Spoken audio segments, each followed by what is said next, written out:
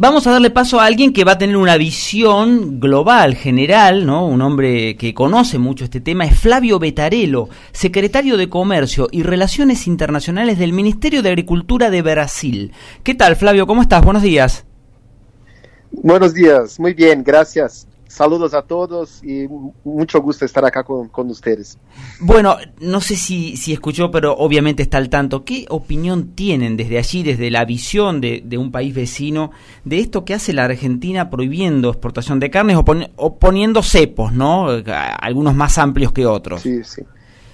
Bueno, bueno, a mí no me toca hacer una evaluación de las políticas de Argentina, porque no soy un analista de comercio, soy un secretario de comercio, entonces mi, mis funciones son distintas. Eh, nosotros no tenemos retenciones en Brasil y claro, somos favorables a un comercio libre, pero las políticas de cada, cada país les toca a ellos.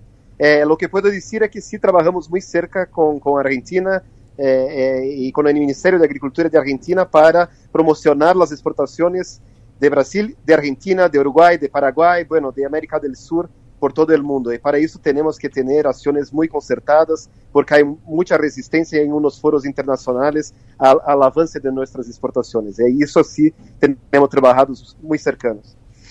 Bien, ¿y cómo están las relaciones ahora, eh, las negociaciones entre los dos principales socios del Mercosur? Sí. Bueno, eh, puedo hablar por eh, el, el, campo agrícola, ¿no? De agricultura uh -huh. y ganadería. Sí, pero es, es, es un fuerte, ahora, ¿no? Nuestro. Ahora, Sí, bueno, eso es central para nosotros. Eh, eh, estamos, creo que, en el mejor momento de la historia, eh, para decir la verdad, porque tuvimos un compromiso político de alto nivel para arreglar todas las barreras no arancelarias entre Brasil y Argentina. Y algunas bastante, bastante difíciles de, de, superar, como por ejemplo las exportaciones de langostinos de Argentina a Brasil, porque teníamos resistencias internas, o la cuestión del reconocimiento de, de la BSE, eh, del estatus de Brasil para, para el ganado, que nos permitiría exportar algunos productos para Argentina, pero tuvimos ese compromiso y a, a largo de un año logramos eh, sacar todas las barreras que teníamos sobre, sobre, la mesa, que más de 50, te imaginas. Eh, eso cosas que, que, que, que, estaban ya por, por décadas. Y ahora tornámonos un, un, un, un, ejemplo a los otros. Y cuando me voy a negociar con otros países de América del Sur, del, del resto del mundo, digo, tenemos que hacer lo que hicimos con Argentina. No vamos a trocar un producto por otro, una cosa, una cosa chica, así de quid pro quo. Vamos a hacer algo más, eh, eh, más holístico, más completo y vamos a, a, limpiar todo. Vamos a mirar lo que tenemos en Brasil, lo que tenemos en Argentina, cuáles son los intereses y vamos a hacer un cronograma para que logremos sí, limpiar eh, eh, la mesa y tener un comercio eh, de facto libre y de facto justo que en beneficio de nuestra sociedad. Y así logramos. Flavio, ¿cómo estás? Lionel Paredes te saluda. Hola Lionel, ¿cómo estás? Muy, muy bien, ¿vos?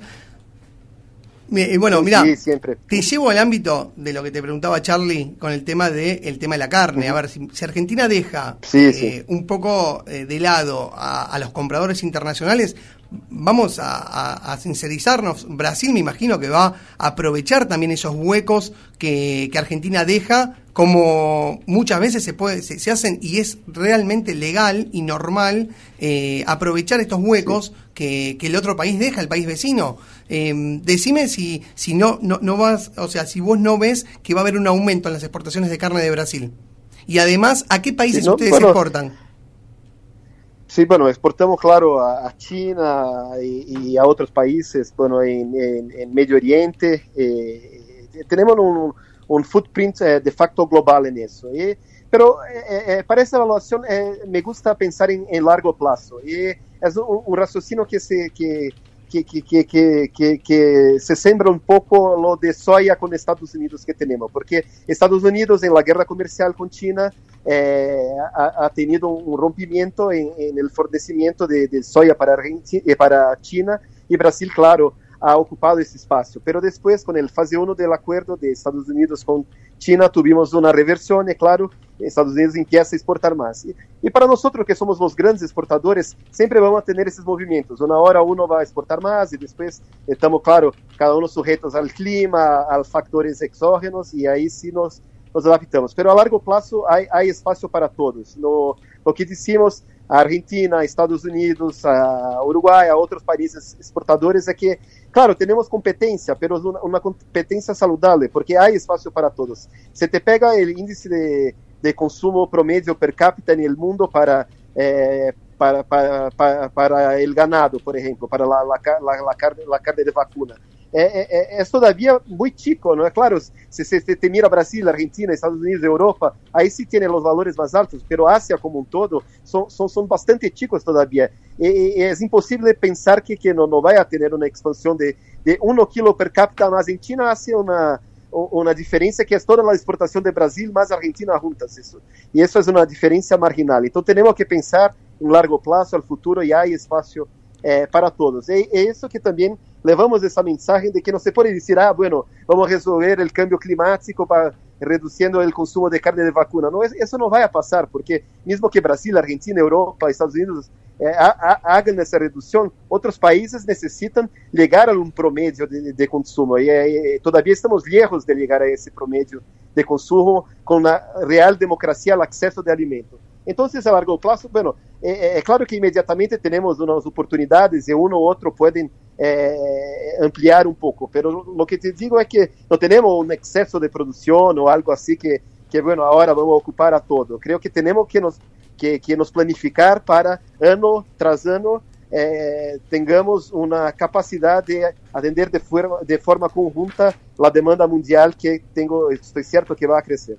Flavio, en cortito le pido por favor, nos queda un minuto, pero ¿qué perspectiva ve siempre desde agricultura, ¿no? Como me dice que es su área, pero en el Tratado Mercosur-Unión Europea? Bien, creo que, que, que de parte de Mercosur ya logramos hacer muchos avances, es un acuerdo que es bueno para para los dos eh, para los dos parceiros, para Mercosur y para Europa. Y creo que eso a veces se pierde, ¿no? Que piensan que es solamente bueno para Mercosur, pero no, Europa va a ganar mucho con el acuerdo. Lo que pasa es que hay algunos intereses en Europa y tienen, hay elecciones allá y bueno, eso tiene la cuestión ambiental que, que, que, todavía se sigue, pero tenemos también los intereses proteccionistas que se articulan, pero que, que miramos de que naturalmente las voces que van a ganar con el acuerdo, no solamente en el Mercosur, pero las voces sobre todo en Europa, van con el tiempo a eh, tener, ganar más fuerza y ahí sí vamos a lograr avanzar para la, su aprobación final. Pero, de nuevo, no es algo que es bueno solamente para Mercosur y ahí tenemos que tener eso en mente. Es algo que los europeos también tienen que llevar adelante porque van a ganar mucho con eso también. Bien, win-win, como se dice. Flavio, muchísimas gracias por esta comunicación. Sí. No, muchas gracias por la invitación. Un abrazo. Un abrazo. Fue Flavio Betarello, secretario de Comercio y Relaciones Internacionales del Ministerio de Agricultura de Brasil.